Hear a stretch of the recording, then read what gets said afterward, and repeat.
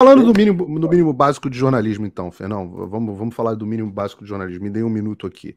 É, saiu agora há pouco uma notícia uh, da Folha de São Paulo, veiculada na Folha, e agora já eu acompanhando aqui na internet, veiculada em quase todos os grandes veículos de mídia, de que uh, eu vou ler aqui. Uh, a notícia direto da Mônica Bergamo na Folha.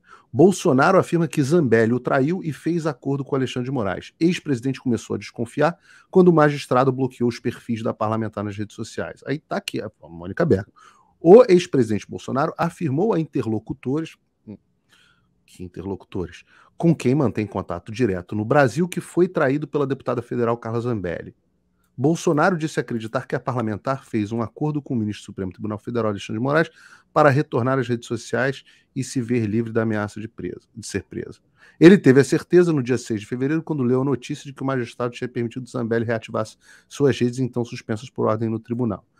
Na decisão que desbloqueou, isso uh, uh, não interessa muito.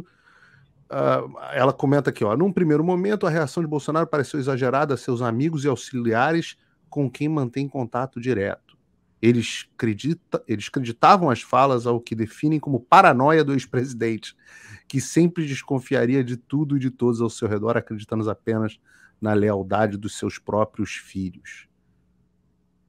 E, e aí segue aqui uma reportagem uh, da Mônica Bergamo.